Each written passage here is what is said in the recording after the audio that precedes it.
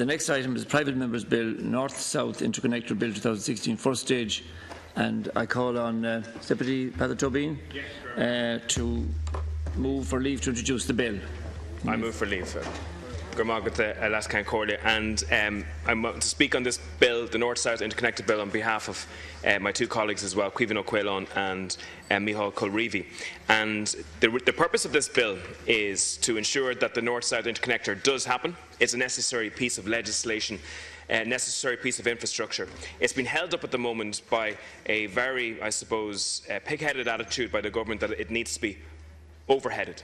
And um, it's not likely to be ever built if they continue down this route. It should be undergrounded. And just to give you a bit of context, for about 10 years, a decade, we have the decent, ordinary people of County Meath campaigning day and night, uh, week in, week out, in an effort to make sure that their families are kept safe, that their businesses uh, are, are, thriving, and that their property uh, does not collapse in value. And EirGrid have a plan to build uh, hundreds of 45 metre high uh, pylons throughout the county, up through uh, Cavan and into, uh, it, it will also look to be built in County Tyrone on the northern side. Now, this has created great fear and anguish amongst the people of Meath. People are worried about, you know, health, uh, for example. There is an understanding, uh, there's a, a, strong body of opinion there, not least amongst the European Commission uh, on, uh, Scientific Committee, that the previous conclusion that ELF magnetic fields are a possible carcinogen, chiefly based on childhood leukemia results, is still valid. That's a very strong statement, and it's a statement that puts the wind up most families that are being threatened with this piece of infrastructure. And what this bill does is to address that fear and ask the government to carry out an independent investigation to make sure that that knowledge is brought to uh, the people's attention, that proper research and the knowledge is in the people's hands before a decision is made. There's also a problem with these, uh, that people will be trapped in the curtilage of these pylons because obviously, immediately the house prices are going to collapse and they won't be able to, to, move out of the area. Not that many, many of them don't want to move out of the area, but if they so choose, they won't be able to do so because there's no value in their homes as well.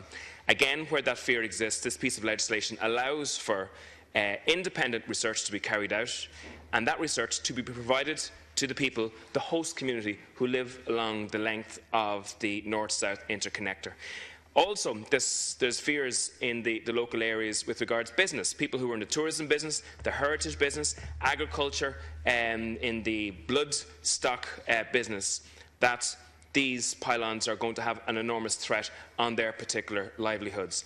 This piece of legislation, again, simply tasks the government to produce independent research to identify what is exactly the threat to the business community, to the agricultural community, the bloodstock community, etc., and put that information into the hands of the citizen.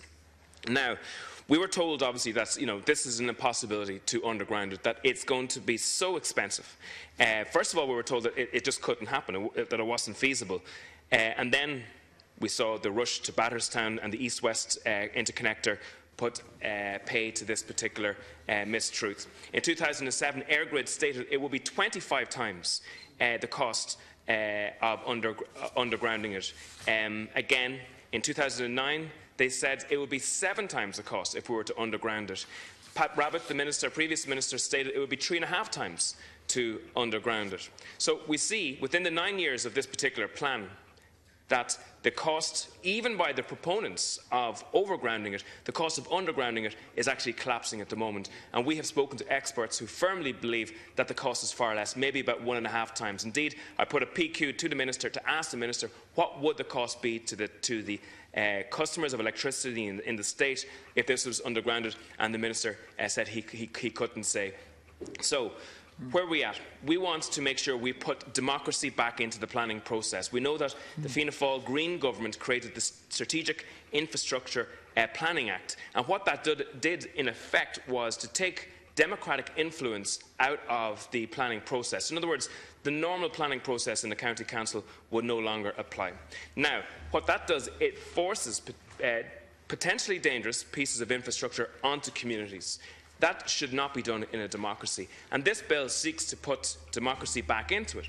So if uh, a number of people along the host community, along the, the North-South Interconnector, feel that this is a threat to their livelihoods or their lives, well, they have a, an opportunity to organise a meeting, which will be chaired for by An Bord Pleanála.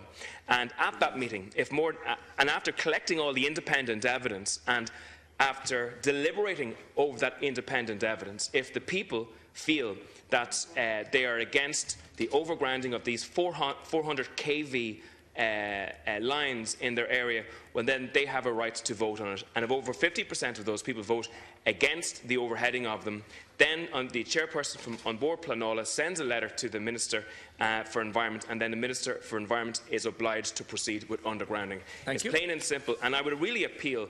Um, there's been a lot of political debate, and uh, I know there's a Fine Gael uh, Meath TD here today. There's been a lot of debate over this in the last nine or ten years, and the, the campaign feel betrayed and aggrieved with regards the actions of this government in implementing their wishes. And I would appeal to those TDs to stand up for the, the, the citizens that they represent and actually make sure that this piece of legislation is implemented before the door closes. Gur Margaret, Iacta, uh, is the bill being opposed?